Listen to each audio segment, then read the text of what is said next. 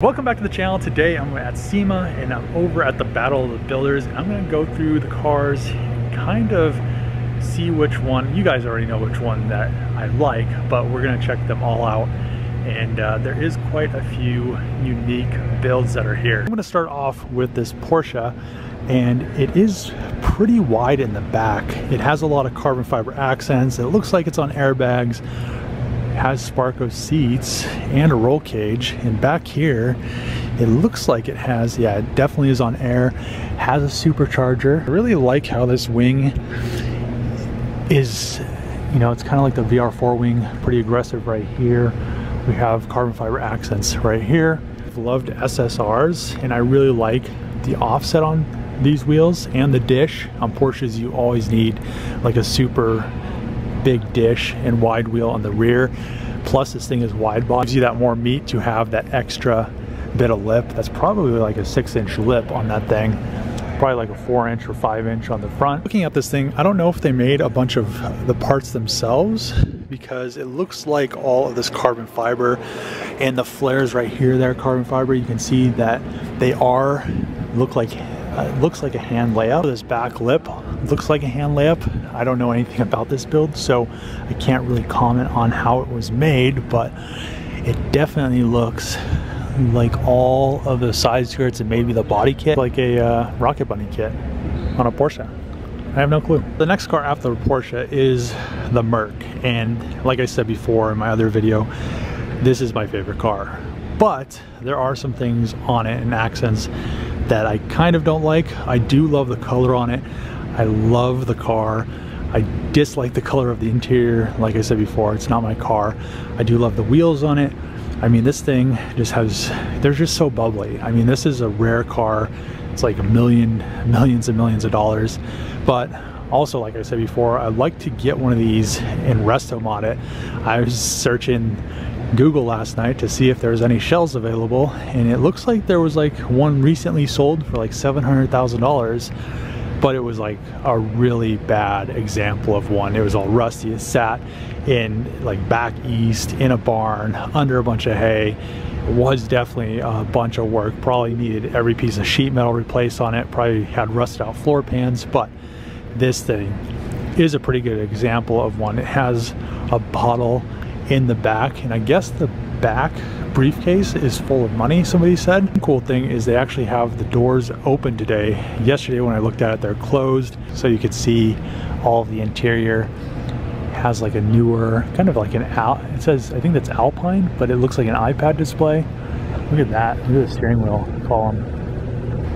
Looks almost like uh, either like a carbon fiber or something like that Seats look pretty cool. They look like they'll keep you nice and planted if you ever decided to rip this. I wish they would open the engine bay so I could see, you know, see what the engine looks like. Maybe it has a swap. It's most likely original, but it could have a swap in it since everything else is modified on this thing. Coming in here and looking at the stereo and the gauge cluster, I feel like this thing has a newer AMG swap in it. I wish the hood was open. This thing has to be, it'd be cool if it was like a V12 twin turbo engine in it, but there's no way to tell. Next vehicle is this Toyota. These things are pretty cool. We have like a pile of these at the junkyard just stacked up. Sarah came over and she's like, oh my God, I see all these Toyotas. I really want one as a project. I was talking to the guy that owns this and he fully restored this thing. Has pretty much brand new everything on it. Everything's painted, powder coated uh, he also has a pretty cool Jeep all the way over there that has like a pop-up tent on it. But I really like the wheels on this. Come underneath it and it's just 100% brand new. Just kind of cool that everything is new. Has a little leak right there, probably from the transfer case. But, you know, that is what happens. And then coming over here, everything has to have an LS in it, which the engine, I think they, these came with like a straight six, kind of like the Cherokee that I have. They're always overheating and always uh, garbage. So kind of cool to see an LS just naturally aspirated, has drive-by-wire. Looks like it has working AC. Another cool car is this Baja off-road Porsche and it's lifted. It has off-road wheels, off-road tires. It has these cool kind of looks like GT3 inspired vented hood or vented fenders. They're wider. Back here, same thing, wider. Has all of this nice suspension. Look at that. I wonder if that's long arm. Look at that. So it might actually function and actually be able to be, you know, ripped off-road, not have any issues. Has these mud flaps back here. Really digging the carbon fiber bucket seats and the red. I don't really like, you know, the style of the red, but I do like the color, that color interior and stuff. Everything's wrapped in black Alcantara and it looks like the roll cage they made the headliner custom molded to the cage. It still has a headliner in there, but it just looks super clean. Then the dash is also wrapped in some black Alcantara. Look how wide these fenders are. Look at this vent right here. The only bad thing about that is if you ever took this off-road and you caught a bunch of rocks with these wheels and tires, it would just throw all those right through here. This paint would just be all chipped up. It has these, all this shielding right here, but the mud flaps wouldn't protect it from all the rocks that would just come and just hammer this door right here. Another interesting car is this, I'm not sure, FRS, BRZ, pretty much the same thing, but everybody started to do these weird headers that face forward. There's a BMW that has the V12 with the same kind of style header, and then it comes into this single exhaust V-band looks like four inch that goes all the way back. Four inch is a little bit too excessive. I mean, I have three inch on my GTO and it's really loud. It's all tubed. It's uh, looks like kind of like a destroyer gray or whatever you want to call the Toyota flat gray right there. I do like the work wheels where they're kind of a semi-gloss black or a matte black and then they have the brushed lips instead of the polished lips. That's kind of cool. Offset looks pretty good. I'm guessing this thing's also on air. Another cool thing is how the headers are. You would think that this thing doesn't run and drive, but it has a rear mount radiator. Everything is pretty much mounted in the rear. So it is an actual functioning car. They have all this stuff back here tucked. The fuel pressure regulator is tucked back there. All the wiring, can't really see anything. Steam vents are under the intake manifold. Intake manifold goes back, looks like into the firewall. Has that catch can right there. Really trick car super clean car is this Ford F-250. You don't see these things this clean. Usually you see these things beat to death or on a farm, never been taken care of.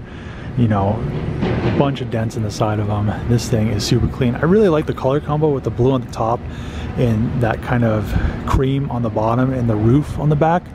But this thing, it's about all the builders, so they all have to be gone through pretty well. Also another cool feature is the seats still in the back right there. Really like the color combination of this one as well. I like how it has this dark metallic gray and then it has that nice white stripe. I think the other one looks a lot better because it has kind of that patterning, but this thing, super nice. Really like the wheels. Doesn't have rear big brakes, but, and it doesn't have front big brakes, but the interior matches, the dash matches, the steering wheel, all the gauges, headliner, a newer LS, everything with the radiator engine is nice and clean. So most likely, I'd say all these are running, all these LSs are running like a Holley EFI. You can see down there the tags, so I'm guessing that's what they're running like a Terminator X. This is a automatic, so it's probably a Terminator X Max. This is like the truck section, but we have this truck right here also super clean in a metallic kind of like a stark silver hood that pivots forward looks like on automatic shocks with a carburetor which nowadays most people take all of those engines out put LS's fuel injection has Wilwood big brakes in the front and the rear thing is super clean exhaust on the bottom is also pretty clean just how it is tucked up in there in that kind of step panel. See how this tailgate is completely shaved. So I know these beds, you can get them brand new, but a lot of people, when they modify them, they cut them out and then they weld the whole thing instead of, and then it completely warps it. So this one is surprisingly straight. You can see the back tailgate look how straight that thing is. And then inside of it, it has, you know, the normal, it looks like not like the real wood, but the simulated wood, which will probably last a lot longer. It looks really clean. Another cool car. This thing is impressively clean, but these really aren't my style but they still are pretty cool. I like how it's dark blue. I really like blue colors and then all the steering column and all of this accents right here are nice and polished silver and then the interior is all that dark blue leather, carpet's blue, just really flows well together. Um, I'm really not a fan of soft tops because the tops are just always so difficult to keep clean. They always have issues. This is obviously a show car, so it's not gonna be sitting outside but it's just cool with it looks like LED lights all that's chromed kind of cool right here with it almost looks like a brake duct which is pretty cool. And then all the suspension down here is chromed pretty clean. Brakes. The engine here looks like it's running ITBs like I said on the other truck a lot of people run LSs now with fuel injection. Fuel injection is super clean but some of the older engines with Webers and velocity stacks just sound really, really good. But this thing doesn't have any flares. I mean, just has to be crazy driving this thing through some sand if you were, and uh, it just all flinging up. Look how the license plate is like paint matched. Looks really clean. It looks like the wheels might be Cerakoted. That is a very popular Cerakote color. Not sure. It doesn't tell you all of the details, 1934 Chevrolet Roadster, but doesn't tell you this is Cerakote, that's Cerakote. It looked like the alternator was Cerakoted, but I'm guessing since so much of this is coated, most likely it's possible. Thing is super fancy looking. And I'm really a fan of these root beer brown colors that are super metallic but just like the other one, really clean, a bunch of stuff's chrome. Looks like this thing has drum brakes. I'd be kind of afraid of driving something like this with drum brakes, but I really like the louvers on the side or the vents, and then the exhaust comes out right here. It's hard to tell what kind of engine's in there, but super straight, super clean. Love the suicide doors. The pack things, the back hinges are gold, just like the other one. Be kind of sketchy driving this thing in some sand. It just, you know, this paint job is way too nice. These straps right here holding the hood down are just super crazy. Also pretty crazy, the roof looks like it's just like upholstered fabric. Other thing is I probably wouldn't be able to drive something like this because I'm so tall, but the interior looks super crazy. Look at the shift linkage in there. And I think that's a parking brake. Gauges down there, all you know, all kind of crazy. And we have the gauges in the center. There's this Ford F100 right here. And this thing is super clean, super crazy. Color combo is pretty nice. It's white and then it has like this really light gray top stripe on the hood. The bed is the same way. Just really kind of cool. Trucks like this are way too clean because all the time I use my truck to just haul stuff and use it as a truck.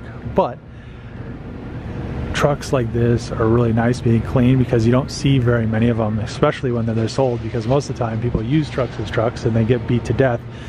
The back tailgate, really cool how it's all nice and smooth. Then how it goes with the tail light, this nice little, kind of like almost like a pinstripe. And then the exhaust is all kind of tucked in the roll pan down there. Crazy how the exhaust kind of matches the tail lights. Those are pretty cool. Also looks like it has Wilwood big brakes. Like how it's di more dished in the back than the front.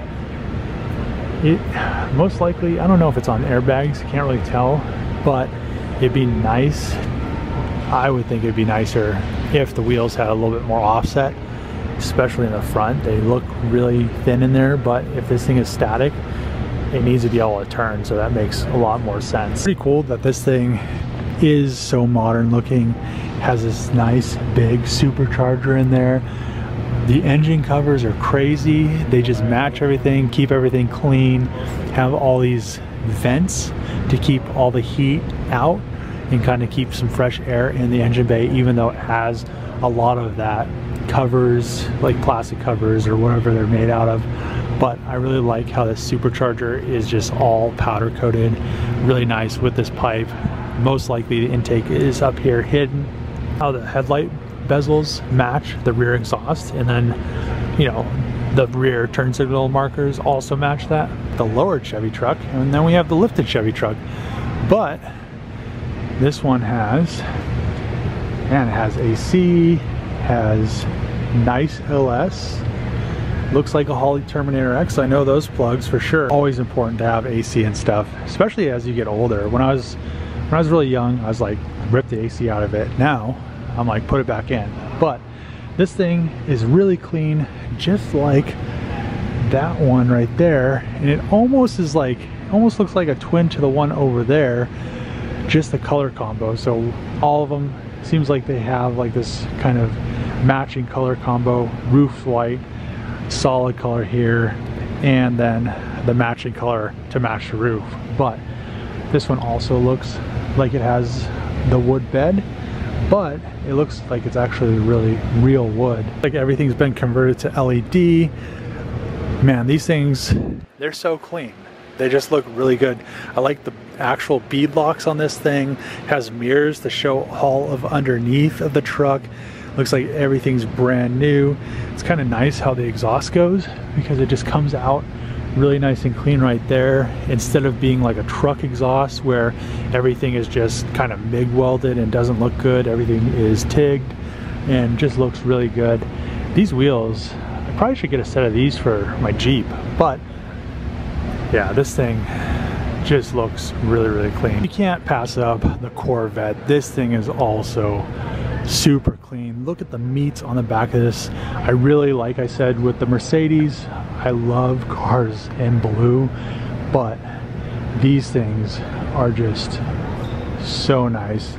Look at the big brakes, just kind of has like resemblances of like how newer Corvettes are styled, just with the brakes and the wheels and the color of the car and just how everything is put together plus the exhaust kind of looks like a newer Corvette. So they were kind of just resto modding this. You can see all of the newer suspension underneath it. Everything is kind of upgraded, like new coilovers, all that stuff has been gone through. The frame is painted really nice, nice semi-gloss black, just nothing has been untouched on this thing. I should do all of the rest of these cars. This car right here took a few awards already. It has an EcoBoost Mustang engine in it. Really clean, sounds really good, runs really good. Just really clean install. You can see all the intercooler pipes in there. Probably rips because it has that EcoBoost engine in there. Probably has the EcoBoost transmission, but it's something you don't see very much. One of these old panel wagons right here. The interior has this nice plaid kind of goes with the rest of the look of the car. Another car I'm really excited about. Everybody knows I love R32s and this thing is a monster. So it's mostly carbon fiber. The guy was trying to save a bunch of weight because he does track this thing. It has air jacks, which are really cool. Those were out at the booth, which are cool.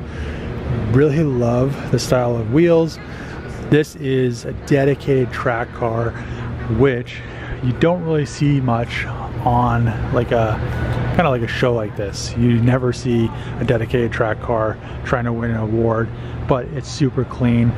The wing, really big, all mounted really nice to the fuel cell most likely this thing already had rust so they just were like oh let's put a fuel cell in there cut it right out. Big rear diffuser carbon fiber bumper carbon fiber diffuser roll cage. This thing was built to be a race car not a show car and it's still doing pretty well. I'm gonna wrap this video up. I pretty much figured out which car i love at SEMA and i'm gonna have to say it is that merc. So i'm not too big of a mercedes fan but that just, you know, to me, the interior, like I said, wasn't, I wasn't a fan of the color, but the styling and everything else, just a big fan of it. I really, hopefully one day can find a project one. Just like I said, I want to find a Pantera and do like a resto mod, but that's gonna be a lot of money. I wanna finish the Charger. I'm gonna end the video here. SEMA has been a lot better than it was last year just because the fact